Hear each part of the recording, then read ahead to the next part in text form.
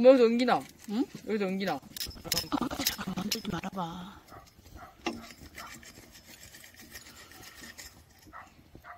왜?